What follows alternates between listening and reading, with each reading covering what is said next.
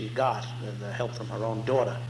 And She was also hoping to surprise her. Helping to what? She was also hoping to surprise her, because their marriage was going to save their financial situation. Oh, that was another. Well, yes, yes, that's right. Uh, Actually, there were several reasons, I think, for Anna's, Anna Moore's not telling her mother. And I, I didn't find that uh, uh, in the least objectionable. Uh, I mean, I could understand this. Listen, I have uh, heard of uh, similar situations. The, one, the possibility that a premature, uh, premature announcement of the news uh, might adversely affect uh, Sanderson. Two, the fact that the breaking the news at that moment might affect her mother very badly. And three, the surprise, the idea of surprise when the moment was right, you see. Uh, that, that to me was entirely believable. The, um,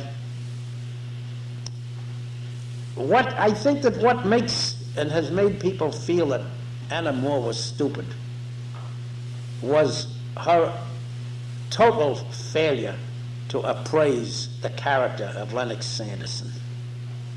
You see, well, that long before any mock marriage came into the story. I mean, this what kind of guy is this? You know, and here was the simple, pure, innocent little country girl who visits the fashionable apartment uh, of this cad and is impressed with the apartment, especially with the music box. Incidentally, Herb Stern to this day has the music box. He has it in his apartment in Hollywood. It's, there's a bit of memento. you know, he's been offered money for this. And, and during a very lean year out there, too. And he wouldn't sell it for $10,000. Can you imagine the music box and the, that prop in the, in the set there? Yes. Um, one of the, the strange aspects of her seems to be there's like a, a shadow of gold diggerism or whatever. Well, no. It, I mean, it's not, it doesn't come through, you know, with the way, with, in her actions, particularly when you put the story together, you, you remember that she's come to Boston, I guess it is, for money. Because, because she had, they have these financial troubles. And then she agrees to marry him she's in his apartment and she sees this place he lives which is really very far out looking on the street. And, it, it looks very, really ritzy. And, and then she agrees to marry him and then, and then she goes home and there's some title about, um, um, she, she hints to her mother that their financial worries are over, you know. And it's just, it's not, you know, I'm not saying that this is supposed to be a conscious thing on her part, part of her personality, but it's strange. It's- Now, did you hear, did you hear these comments? Uh, what is your name, please? Peg. Uh, Peg made the comment uh, that she finds uh, an aspect of gold diggerism in the character of Anna Moore, that Anna Moore comes to Boston uh, for money, and uh, that when she returns uh, to the country home, she tells her mother that uh, their financial worries are over. Now, uh, I must uh, take exception to this interpretation for the following reasons. They are practically penniless, Anna and her mother. The mother is responsible for Anna's trip to Boston. The mother sends Anna to Boston to appeal to wealthy relatives, please to help. The mother is ailing. And it's quite obvious from the nature of their existence that their means uh, of earning any money at all are extremely limited. This is a reflection on the economic bankruptcy of rural America, uh, where the uh, denizens were barely able to eke out a living, and this condition had obtained for centuries, even before the United States was formed as a nation. I mean, how and with what are they going to earn a living in in uh, in, in the rural regions? They have practically no facilities of any kind. And when Anna comes to Boston at her own mother's insistence, needless to say, she's impressed. She's overawed by the splendor and the wealth, Uh, this is a very human trait. Uh, she is, uh, after all, she's she has not been uh, brought up in a in a convent uh, with the idea of renouncing the world and rejecting its its riches. And uh, for the first time, probably in her life, uh, when she enters the, the home of her wealthy cousin, uh, she gets a, a square meal. Just a good meal. Probably a rarity. They probably lived on uh, potato spuds most of the week. Uh, you said the film shows up like the uh, the meannesses of small town life. Well, now this is this is what I'm coming to. This is what I'm coming to. You see, the girl, the girl is a victim, and she is not a very bright person. Uh, for that matter, most of the characters, I would say, in all of Griffith's films, are basically, at least from my point of view, very stupid people, and. Uh, uh, this is, uh, I think, a measure of their uh, great emotional appeal. That uh, feel that, well, if we were all as stupid as that, if we could make ourselves as stupid as that, there might actually be less trouble in the world. you know, I, I, don't mean that, I don't mean to say that we are. Uh, we have any right to pin any bouquets of intelligence on ourselves, but the, the kind of stupidity represented by the characters in Griffith's films is the, uh, the stupidity of, uh, of people who not only do not challenge a vicious system, uh, but I think are also incapable of creating one. Uh, this uh, level of intelligence is, is below the sewer and is the subject for a special study. You would have to go through the whole range of product. the, the one, the only one that I have found yet well, I'd say almost the only one anyway, uh, for whom I found it possible to have great respect, was the bum and The Idol Dancer, the beachcomber, the, uh, the dropout from the whole society who spends all of his time moaning and groaning up and down the beach there in the South Seas, or no, it isn't the South Seas, it's the, uh, the Caribbean, the Caribbean region, and uh, who um, amid drinks, uh, makes no bones of his utter contempt of uh, human society and of the whole civilized world. And uh, there, at last, is a, the glimmering of thought, the beginning of the most dangerous disease, mental analysis, you know. And, uh, no, but these people, the people in, in uh, the village, the village of Belden and, uh, and the other village, the, the, uh, the community. Uh, and, and, these, remember, form the, the bulk of the cast of Way Down East. I think these people are, are, are mean and narrow, extremely bigoted, and uh, very often downright hateful. Except, I wonder, you know, if, um, if I think a group is presenting them as the good people as a place where, you know, where the truths are, and the city as the evil place. And I think, you know, I think the, the film is like a, uh, uh, like a big uh, clinging to some dream of, uh, of uh, country life as the real place and the city as the evil place, even though the cities in 1920 and earlier than that, much earlier than that, were war getting the people, just, you know, for the reasons you said, they had to make a living, whatever it is. Oh, yes. They wanted, you know, they wanted some semblance of life uh, of, of, intellectual activity. So the people were going there, and, and here is a sentimental thing about the countries where the truths are. Well, did you hear what Ken said? That he thinks that Griffith uh, tried to portray uh, uh the country folk, uh, the, the, the, folk uh, of down east, as, as, as, basically benevolent and, and, innocent and kind, and, and that the, he also tried to project the, the city or the people of the city uh, as uh, basically evil and, and uh, scheming and, and so on. There is no question about it. There is absolutely no question about it that Griffith was very fond of these people, even when he showed showed some of them in a, in a bad light. Uh, he did it with a certain kindliness of touch, uh, al- almost as though he was apologizing for them and or, or scolding them as the way uh, in the way that you would a, a naughty child, but with no uh, no feeling of judgment. And I feel that this is terribly wrong on Griffith's part. Terribly wrong because for my money, these are not good people. These are not good people at all. These are the people who later formed the lynch mobs and became the rednecks.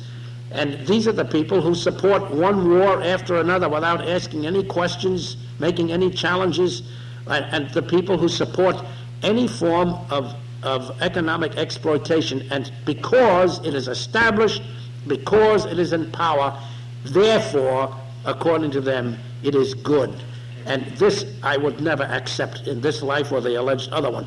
Also, it's true that the people of the city were, were slickers. Uh, still, they are not really represented by Lennox Sanderson. Lennox Sanderson is simply a heel. He is an individual heel.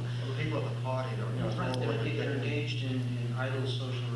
Well, these people at the party are of the upper set, the upper social set, and they're filthy with money and don't know what to do with them, their money or their time or their lives, you know, uh, so that we don't really see uh, the run-of-the-mill people of the city. We don't see just, just the average flow of, of urban humanity. Well, I, I wonder, you know, if Griffith wasn't as, uh, you know, stupid in, that, in a certain kind of way as the girl in the movie.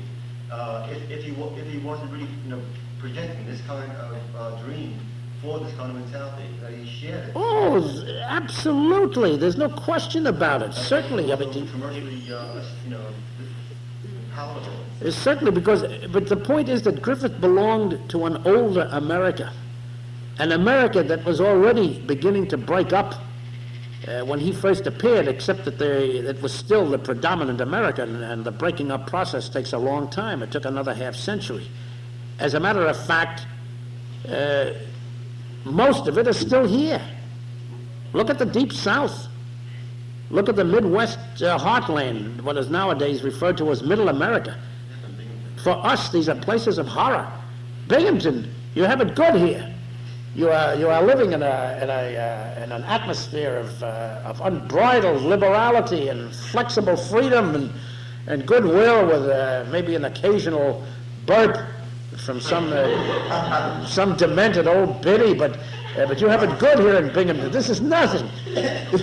God forbid if you ever transplanted to the heartland of the Midwest, the Deep South, or for that matter, to the rural regions, for example, of California, Arizona, you wouldn't be in business for one week. Not for a week. The, the, the vigilantes would uh, wrap it up for you. And, uh, you know, and these, they, they come right out of the people, right out of the nexus of the people. And uh, this is the America that, that Griffith uh, projected onto the screen. Uh, consider, for example, the, well, you haven't seen this, this one. Uh, there is one, one uh, uh, film of rural America greater than Way Down East. The, the film is, itself is not greater, but the, the portrait of rural America is out of this world. It should be preserved forever. I tell you, it's a, it, it, it is so profoundly authentic uh, that it's, uh, it has, again, that newsreel quality. And, and without the melodrama uh, of Way Down East, too. You see, that makes it a little, uh, you know, a little, I think, a little more useful from a, from a sociological standpoint. This is in a film called The Greatest Question. It was filmed in the Smoky Mountains. And I, here, I, I tell you, that the, the, the people in, in this film uh, are, are the people who are really uh, the mainspring. Uh, you, well, they are the, certainly the mainspring of, of the Vietnam War. They are the mainspring of the Korean War. Uh, they are main, the mainspring of all and any censorship that ever existed in this land. You see, and uh, The mainspring are things that make it possible. Well, they are the mainspring. The, it is their morality, their mythology, uh, that represents uh, the uh, the acceptable or socially accepted line of the United States. And uh, this it's too bad uh, uh, because from a it's too bad in a way that, that I didn't order that film, except that uh, from a technical standpoint, it's it's not nearly as important as way down east. From a sociological and historic standpoint, it is. Is there a greater complication in the view of the rural people? Like the squire uh, and his wife seem to be, um, while they cause trouble, he at least wants, she, she tells them go and check out whether this is really true, and they have to kind of turn it uh, at the end. Well, well, I find these other characters, uh, like the gossip and the guy who, uh, and, uh, who, who's always chasing her, and these two people who uh, kiss each other at the end, you know, this, uh, that, that they, they seem to be presented, you know, as truly disgusting people. Well, they seem disgusting to us, but that, that brings up another, uh, an, another aspect of, of the, uh, the point that I think that Peg raised before. You see, you notice, you remember at the end in the double wedding, there's a, a bit of horseplay and humor or intended humor. And uh, Griffith uh, spoofs uh, characters like the gossip. And I very well recall that even long ago, uh, when I was just starting out, I emotionally and instinctively resented this because I felt that the, that the gossip is a, is, is a downright vicious, a criminally vicious individual. And this was the point at which Griffith would have been fully justified to pass a judgment, some kind of judgment. Instead of which, he simply spoofs her and uh, makes light of her and presents her at the end as a, a, a comic and very likable character after all, and she is not. She is not. This, this woman created damage uh, that could easily have resulted in tragedy. In real life, undoubtedly would have resulted in tragedy. Uh, the people like the gossip of way down east, as played by Vivia Ogden, have driven thousands of girls to their deaths. They have driven them to suicide, have driven them to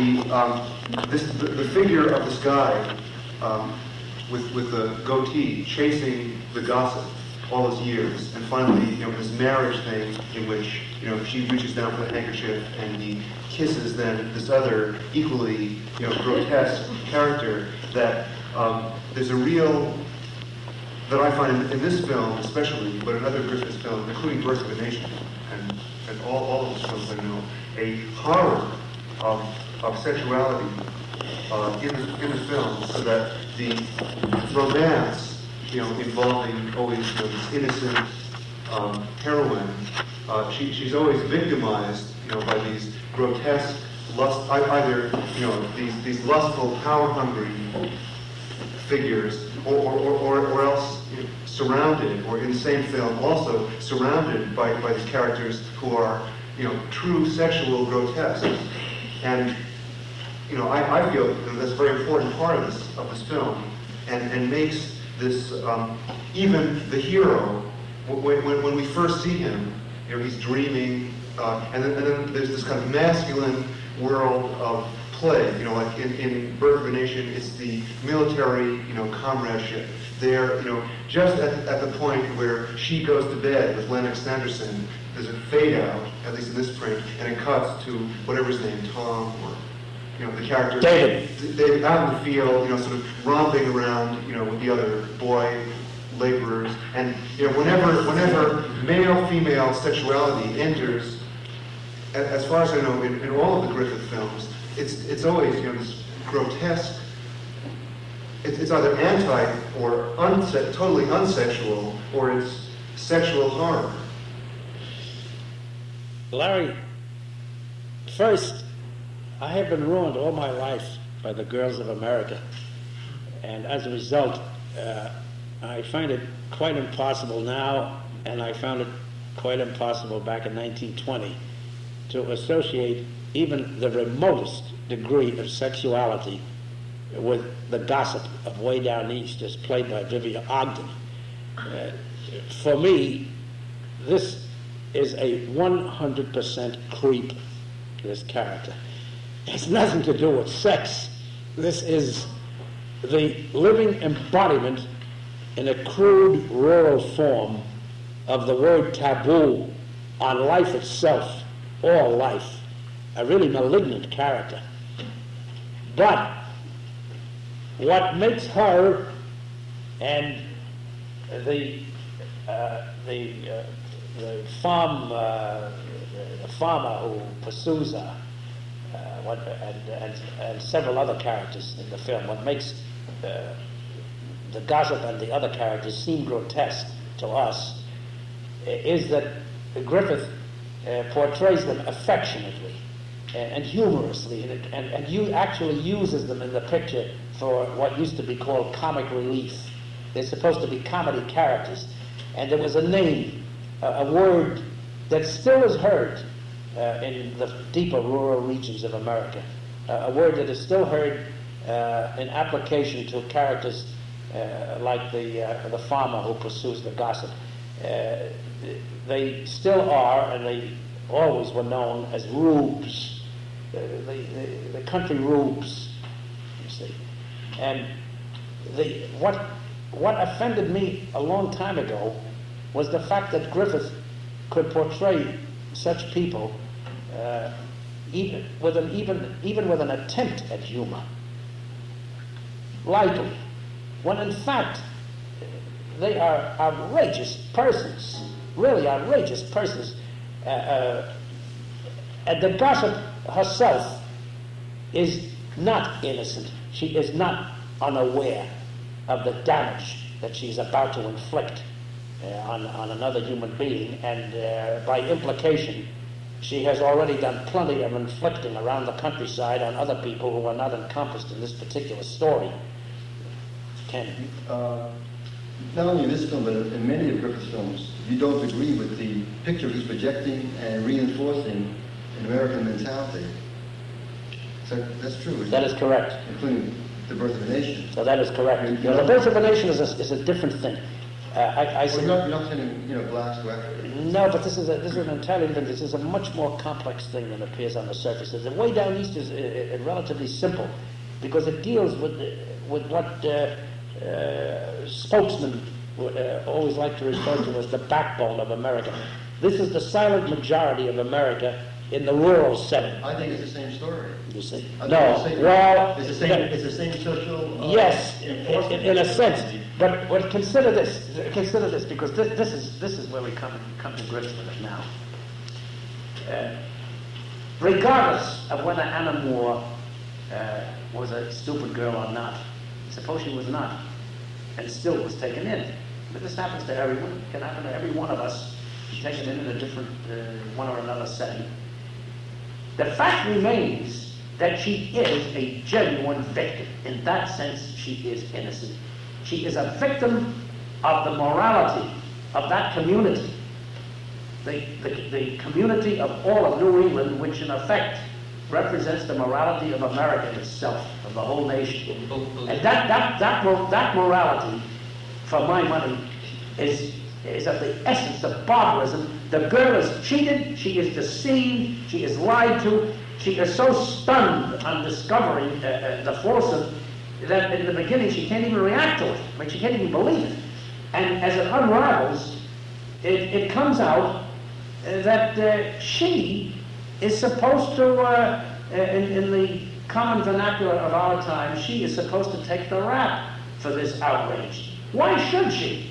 Within, within the morale, because within the morality of the film, within Griffith's morality, she's guilty, even though she was innocent. This is not And Griffith's morality. That's my point. This is not Griffith's morality. Griffith was being absolutely authentic in projecting this as the, as the morality of the American people, and this is the morality of a primitive tribe, and the roots, the roots of that morality go deep down into the church and go back hundreds and hundreds of years, thousands of years. And this brings us to the brink of the, the, the issue of religion in relation to cinema. And this, this should come after the coffee break. But within, I don't but think- within that morality, she's guilty. Had she not had the You know. mock marriage, then she would, according to Griffith and according to the townspeople and according to herself, have been worthy of, of being, you know, considered immoral and not given a job, et cetera, et cetera. Had the mock marriage not made her the innocent one, you know, had she slept with him without marrying him and had the child, she would be considered, you know, really awful, guilty, horrible. She, Like, she was guilty because she allowed herself to be seduced, because this is the film's says, men are, men are allowed to sow their wild Well, yes, exactly, of course, I tell you, uh, I will never, I will never accept that morality. Yeah, It's a double sin. Oh, well, this is a double standard. The double standard. Furthermore, uh, you, you, of course, you're right. This is the double standard, and this is the classic presentation of it for all time. And I will add that the stupidity, the stupidity of which the male species has long been guilty, uh, from the Stone Age right on down, is in failing to see that if the woman is enslaved, the male is enslaved too, in the same respect in which a jailer who claps handcuffs uh, around a prisoner uh, is thereby enslaved by inversion, uh, by and to the prisoner. And the only way he can free himself is to let the prisoner go. You see. But you explain this. Explain this, for example, to the rednecks and to the American Legionnaires and to millions of, of, of, of, men of that type. But they don't want you. you. Have, you, have, you, have, you, have, you have a major fight on your hands. You know. First, first of all, I don't think they want freedom. They don't want freedom. Exactly. Also, way, exactly. you know, That's exactly what they don't want. It's exactly the point. And I, I arrived at this conclusion sometime back with the conclusion that the American people don't want freedom. You know, they don't actually do not want it.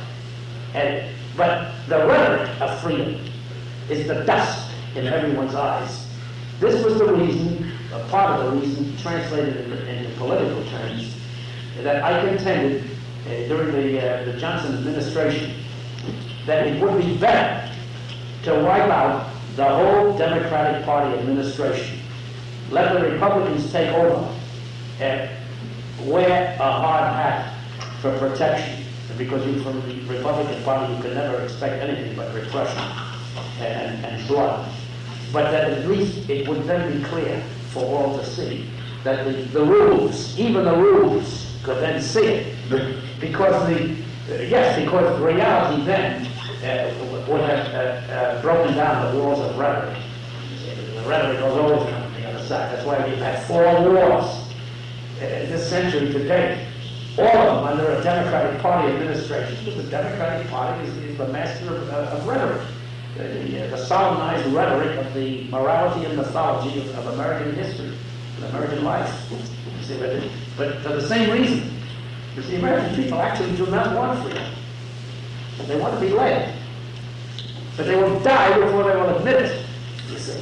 well, they're, they're like, like, they're like a cop out the failure of their lives, the misery of their lives. Of course, certainly.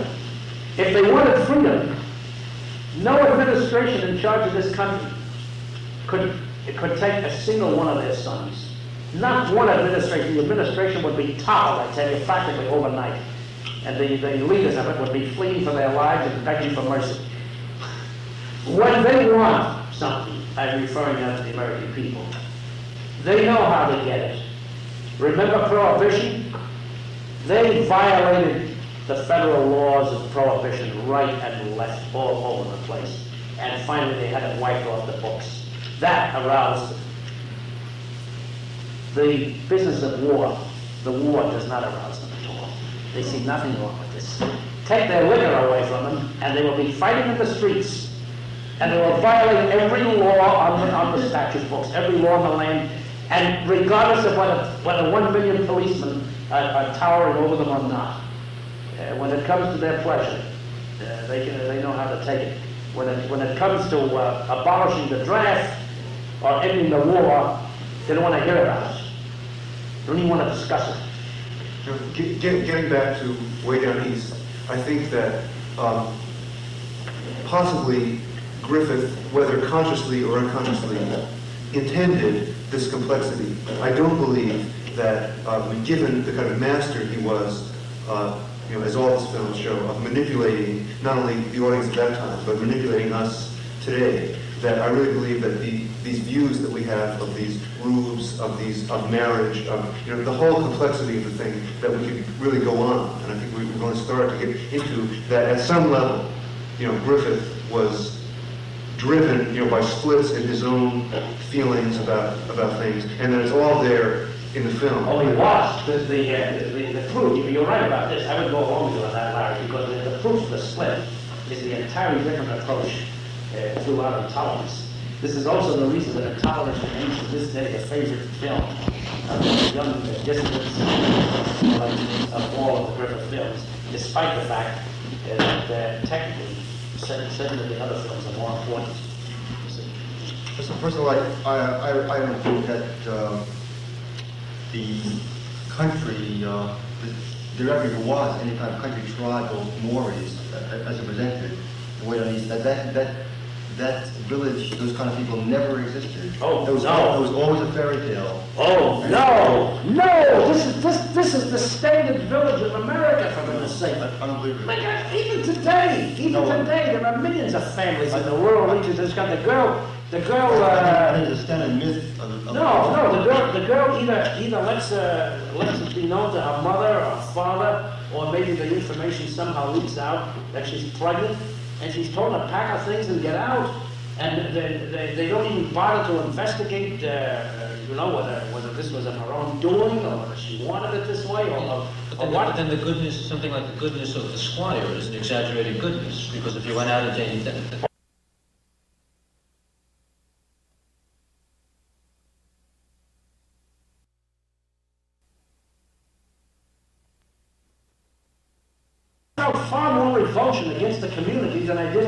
against Lennox Sanderson. I feel well, Alex Sanderson is a heel. It was the community, these self-righteous prigs, these monstrosities of, of what is now known as the Judeo-Christian but morality. even, even These are their the people pretended whose guts I hate. exaggeration. Yeah, but, but she's a monstrosity also, uh, the victim. See, she, she's not, she's not, not a victim because she's different. You mean Anna Moore? She just happens. Of course, because racist, she accepts their morality and, The uh, question is, She's woman, remember? no, she, no, wait, wait, no, he's not, but Hey, listen, Ken is right, Ken is right to this, to this extent. She is victimized by the community and by its morality. And to this extent, uh,